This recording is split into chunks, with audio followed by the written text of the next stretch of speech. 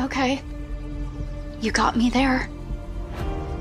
But that is not a crime.